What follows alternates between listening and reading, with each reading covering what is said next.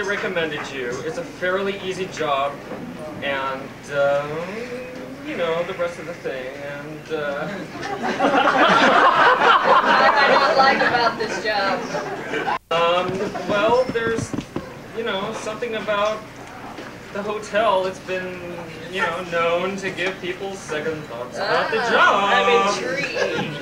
Well, we hired, we hired a man named Albert Briggs uh, as our winter caretaker in 1970, and he went crazy. He took an axe and he chopped up his family. Police said it was what he called cabin fever, and he stacked them neatly in one of the rooms, one, two, three, and then he blew his brains out. Well, I assure you, that's not gonna happen.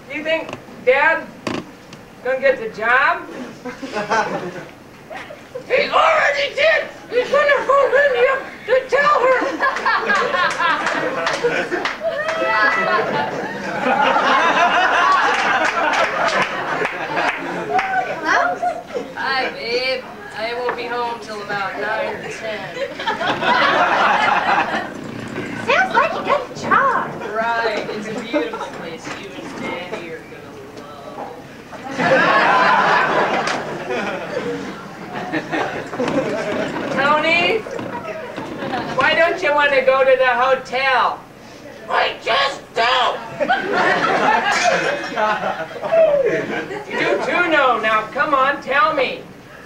No. Tony, come on, tell me.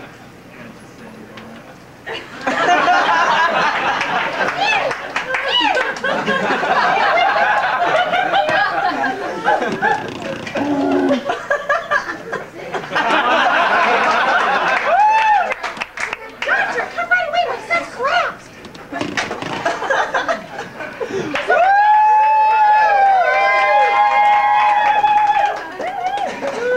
Now hold still so I can see. Now, Danny, when you were brushing your teeth, do you remember smelling anything funny or seeing any bright flashing lights? No. What were you doing brushing your teeth?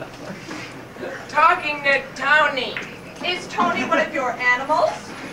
No, he's a little boy that lives in my mouth. Tony's a friend. Oh, if you were to open your mouth right now, could I see Tony? No. Why not? I don't want to talk about Tony anymore. All right, that's fine. You just rest in bed all day. We're just gonna go in the other room to talk, Doc, and then I'll come back and check on you later, okay?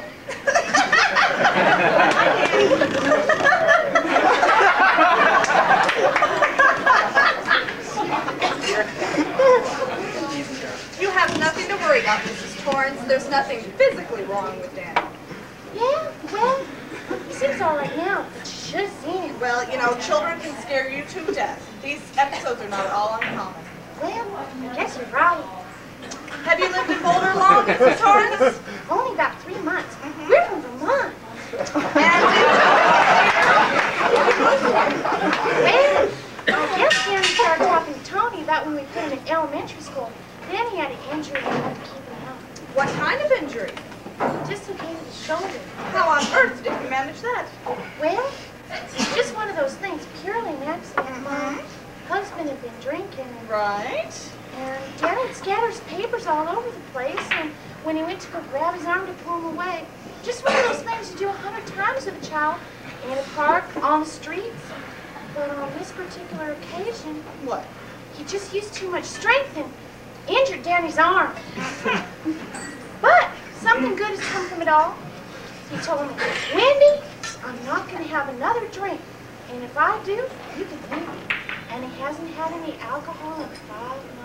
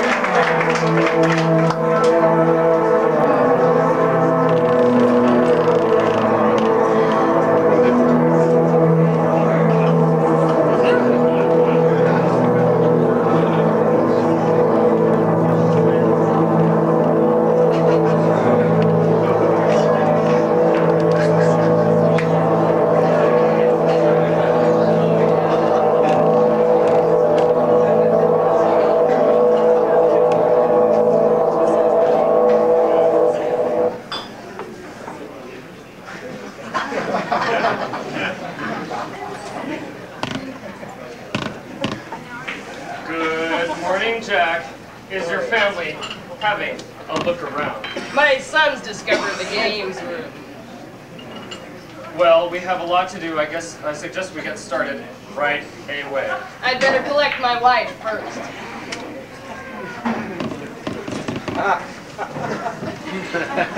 Well, here is our little tour. This is the Colorado Lounge.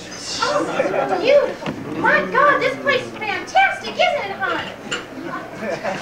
Are all these animal designs all Vinnie's?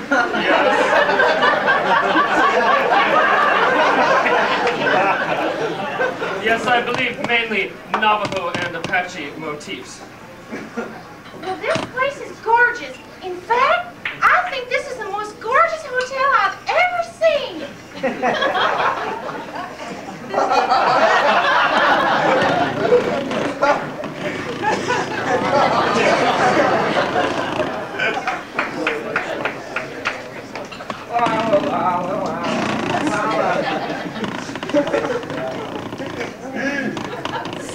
嗯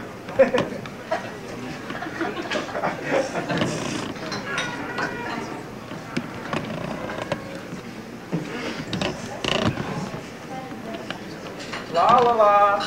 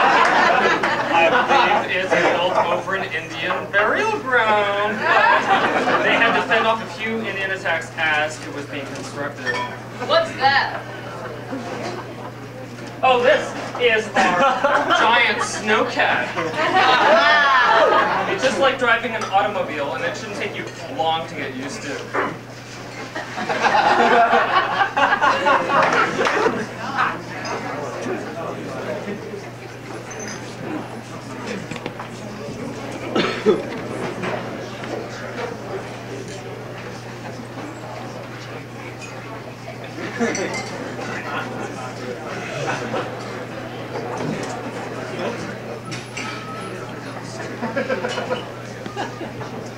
this is our gold ballroom. Wow, I'll say. I bet we could throw a really great party in here. Well, I hope you brought your own booze because we always remove all the facilities when the summer closes. Well, we don't drink. Well, then, you're in luck. Hi, Dick. Mr. Ullman is the, uh, you know, Mr. Uh, Torrance is the uh, chef I'm here. Jack Torrance. Howdy. I'm the car- I'm the head chef. This is my wife, Winifred. How do you folks doing? How you like our hotel? Why, it's just wonderful. Hi, Danny. Oh, Mr. Mr. Halloran, why don't you take Mrs. Torrance and show her the kitchen? Right this way, Mrs. Torrance.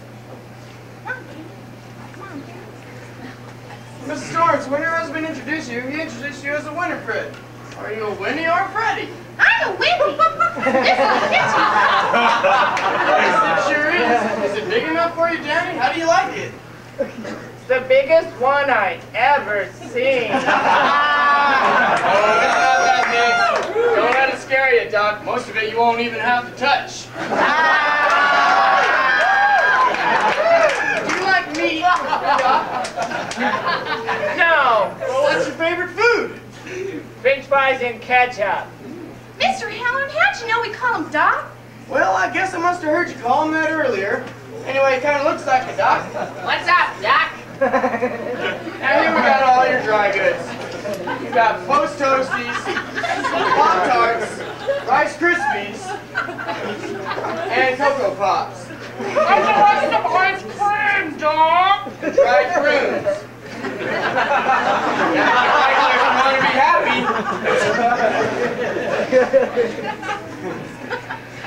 Mrs. Uh, Mrs. Torrance, can we borrow Mrs. Torrance? Mr. Holland, can we borrow Mrs. Torrance and take her to the basement? I want to show her something.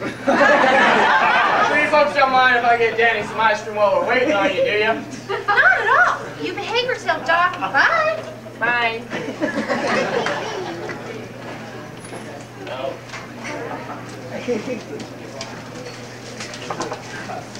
You know how I knew your name was Doc? You know what I'm talking about, don't you? I remember when I was a young boy, my grandmother and I could hold conversations entirely without ever opening our mouths. She called it shining. For the longest time, I thought it was just the two of us that had to shine to us. There's other folks. Mostly they don't know it, or they don't believe it. How long you been able to do it? Why don't you want to talk about it? I'm not supposed to. Because you're not supposed to. Tony, Who's Tony? the little boy that lives in my mouth. Is Tony the one who tells you things? Yeah. Does your mom and dad know he tells you things? No, Tony told me never to tell them. Has Tony ever told you anything about this particular place? About the Overlook Hotel? Maybe he showed me something. Try to think of what it was. Mr. Halloran, are you scared of this place? No, I ain't scared of nothing here. It's just that some places are like people. Some shine, some don't. I Guess you could say the Overlook Hotel here has something about it like shining. Let me tell you about it. Okay.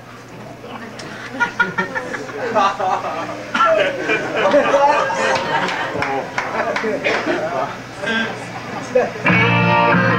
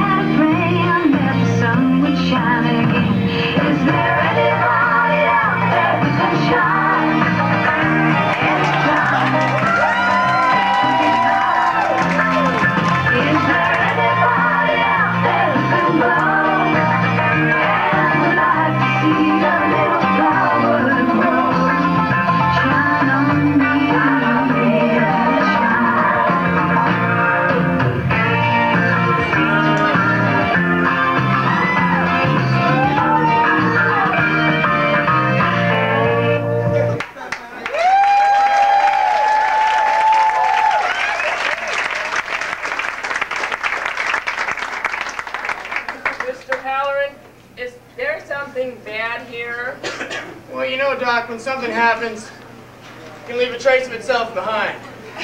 Like when someone burns toast. well, I think when something's happened, it can leave other traces behind too. Not things that anybody can see, things that people who shine can see.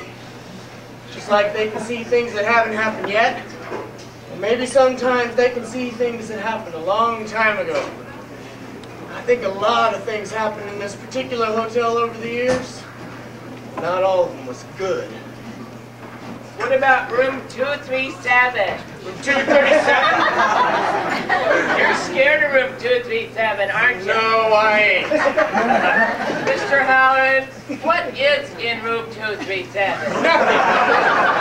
There ain't nothing in room 237. But you ain't got no business going in there anyway. You understand? Stay out.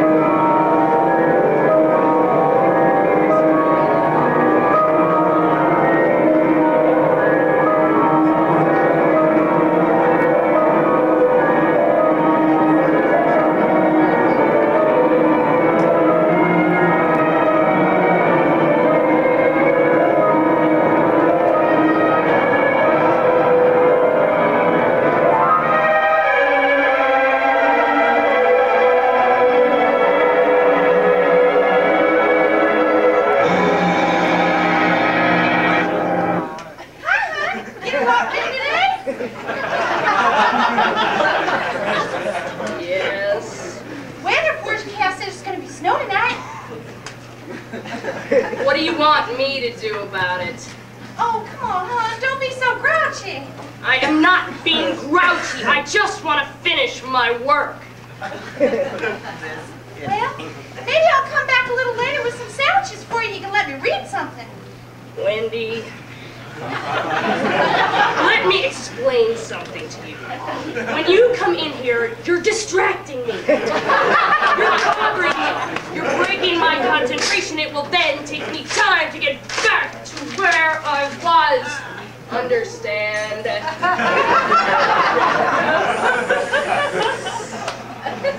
All right. rule. I'm in typing,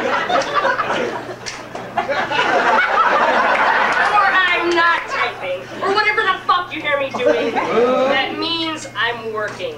So don't come in. Understand? Yes. Think you can handle that?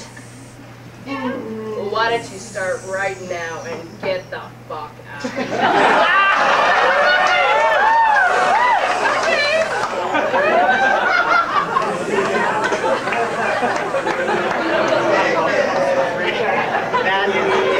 Ha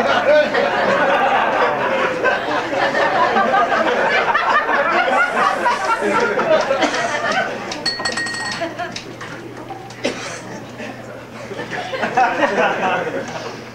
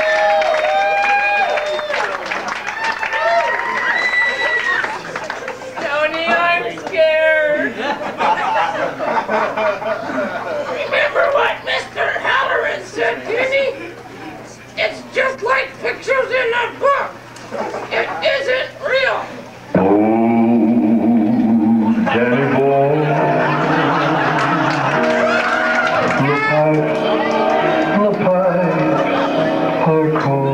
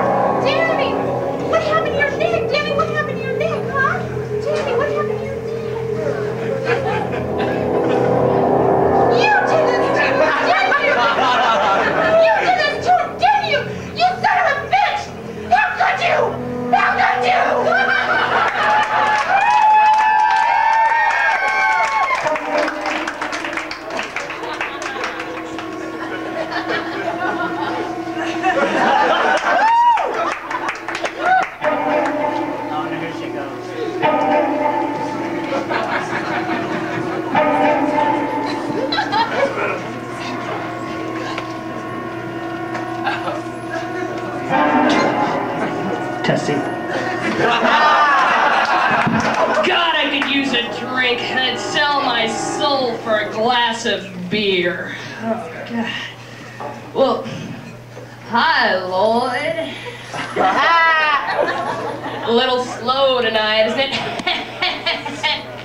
yes, it is. What will it be, Mr. Torrance? Well, how about if you slip me a bottle of vodka, a glass of ice, not too busy to do that, are you, Lloyd? Not busy at all, sir. Uh, seems I'm a, I'm a little short tonight, Lloyd. Uh, how's my credit in this joint? Your credit's fine, Mr. Torrance. Ah, that's swell, Lloyd. I always liked you. Best goddamn bartender from Timbuktu to Portland, Maine. Portland, Oregon, for that matter. Thank you for saying so, Mr. Torrance. So, Lloyd. Here's to five miserable months on the wagon and all the irreparable harm it's done me. How are things going, Mr. Torrance? Uh, things could be better, Lloyd. Things could be better. Nothing serious. Just a little problem with the old sperm bank upstairs. Women, you can't live with them, you can't live without them. Uh, words of wisdom, Lloyd. Words of wisdom. But you know, that bitch, she'll never let me forget what happened. I didn't touch him. I didn't. Well, I hurt him once, but that was three goddamn years ago. Little fucker, he my papers all over the floor, and all he did was just pull them up. Momentary loss of muscular coordination. Extra pounds of spirit and crack. Thank you, Lloyd.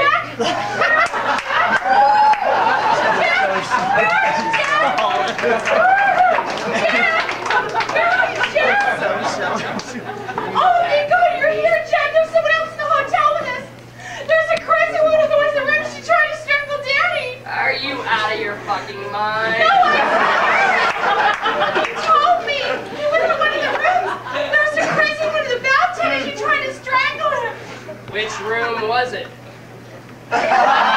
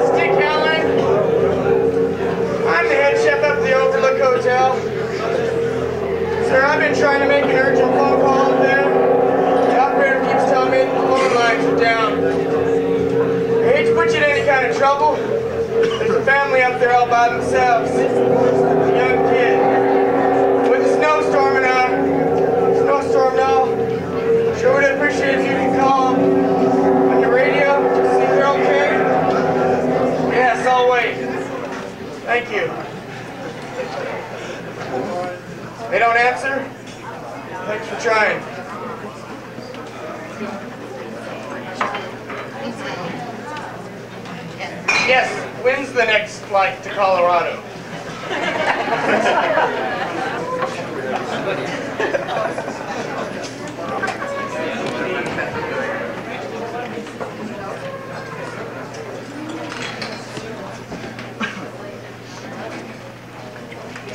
Tree. This is so cute. Sorry.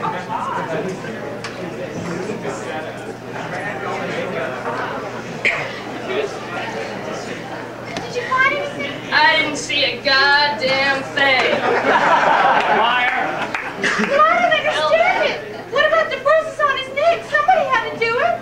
I think maybe he did it to oh, himself. Well, whatever the explanation is, I think we should get him out of here right away. You mean leave the hotel? Yes.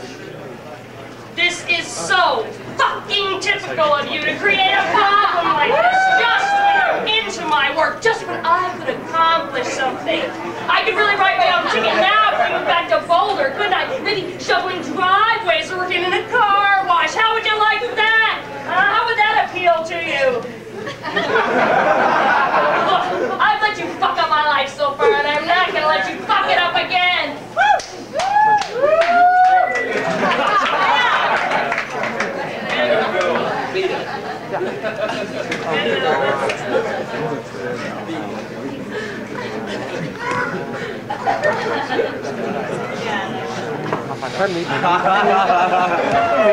Hi, Lloyd. I'm gone, and now I'm back. Dog it bit me. That'll do Lloyd. That'll do her. Isn't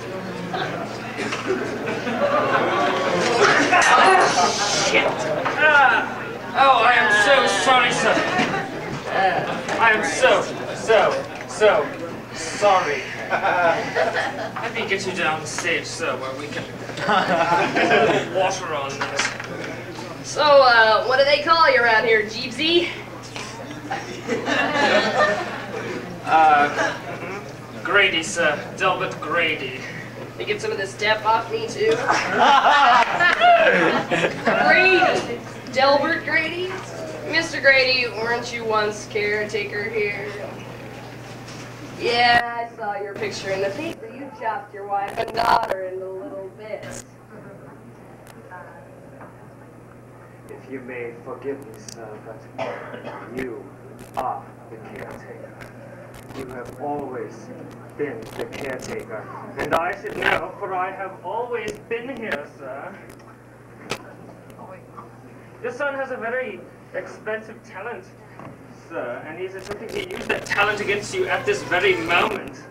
Well, it's my wife. She interferes. On the rock. Well, perhaps I need a good talking to. Perhaps a bit more than that. Yeah. Mm.